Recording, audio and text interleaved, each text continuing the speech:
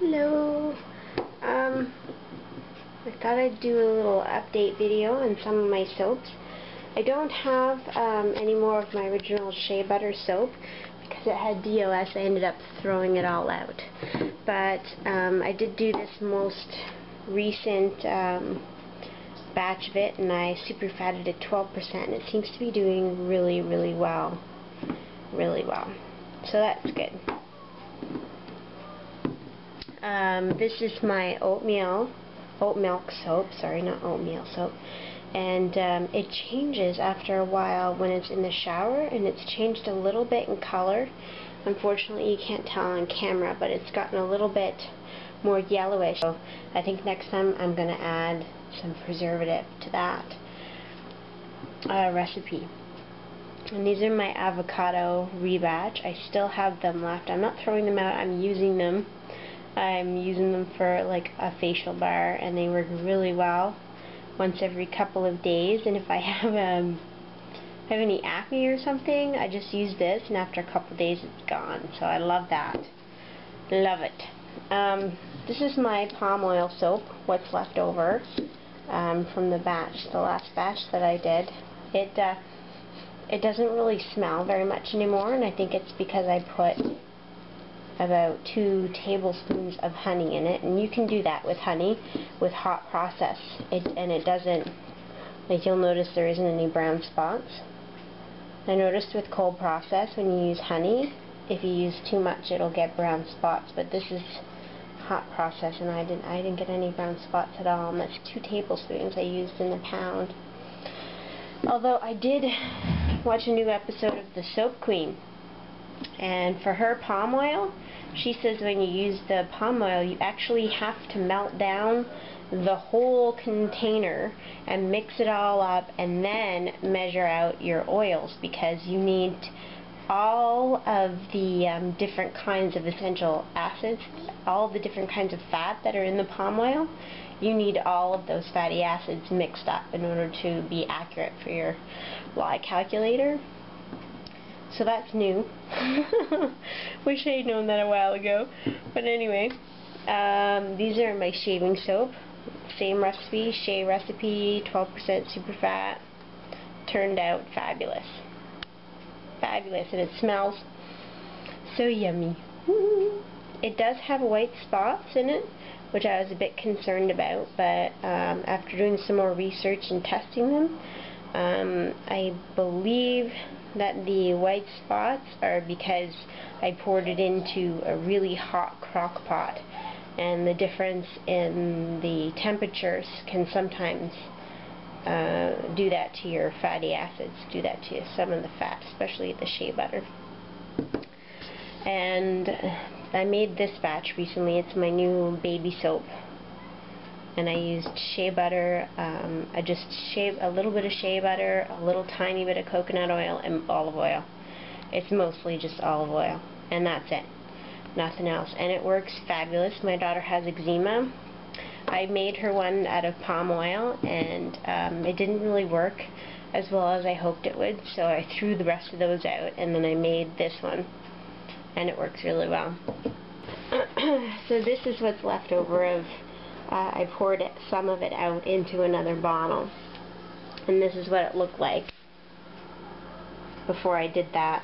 What I did was I took what was on top off. It was clearer than this in these bottles, so it was that clear. So I was like, hey, why not try it out? So I took the top part off. I scooped it out as much as I could into another container. And then the middle part, which is the soap, is the part that I used and then this is the sediment on the bottom and that always occurs the sediment. And then uh, I did that with the small bottles and I put it in this. And I added some rosemary extract to it. It smells a little bit like grapefruit. Because I use grapefruit essential oil but there's something else in the smell and I don't know what it is. But see the gooey stuff on top? That's just gross. I don't know. I don't like it at all. I think it's gross.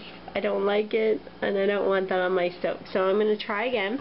I'm going to use the same recipe. I'm going to use a 10% lye excess.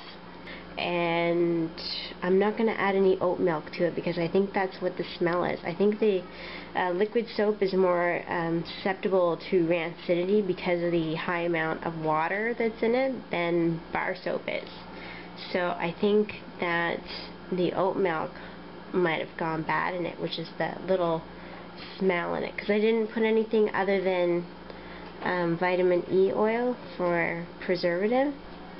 And, and uh, you'll notice in all shampoos they usually include a preservative. They're going to have any type of food or herb or anything like that. So I'm going to do that next time. I'm going to put uh, paraben-free, um, um, uh, mostly natural anyway, uh, preservative in there as well and I found some bamboo extract, which I'm really excited about. My favorite shampoo, the Biolage Matrix uh, Strengthening Shampoo, um, has bamboo extract in it, which has a lot of silica in it, which is the best shampoo I've ever tried for my hair. Um, plus, I've also found out that so my soap has a pH of 7. And I also found out that when you make a shampoo, in particular for a liquid soap, you want the pH to be between 5 and 6 instead of as high as 7 because um, you want it more acidic so that after um, the soap or the I forget the word for it right now. After the stuff binds to the dirt and oils, it's the acidic part that helps rinse it away from your hair when you um, when you rinse the soap out of your hair. So uh, I'm going to add um, extra citric acid to the next recipe to try and get the pH as low as I possibly can.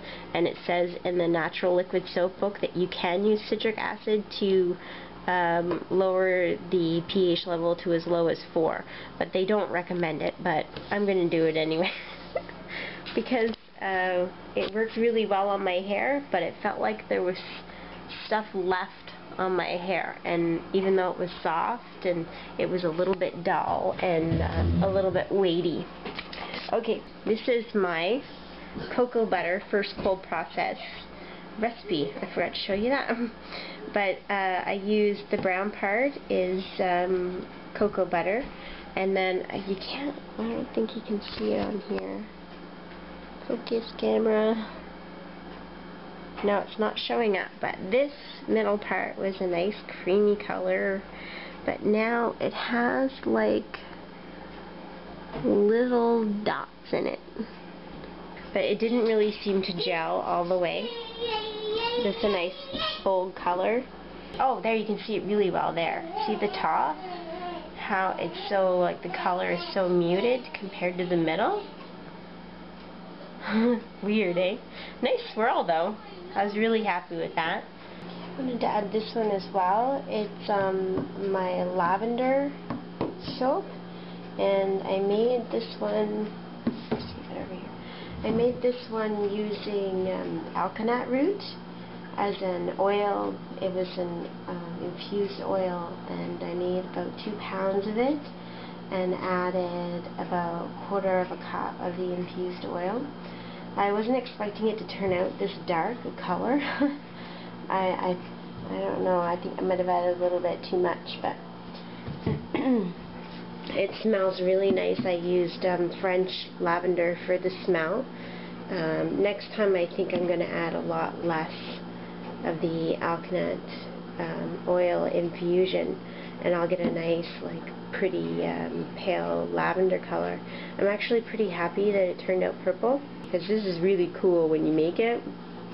It turns from a beautiful pinkish red color to a, oh, the most beautiful robin's egg blue I ever saw and then uh, and then it turned like gray and I was so disappointed when it was like a really really dark dark gray color when it started cooking and then it turned to this purple color which I was pretty happy with. So it was pretty cool pretty cool process anyway so I'd like to show it share it with you so that's probably what my next video is going to be bye. Happy soaping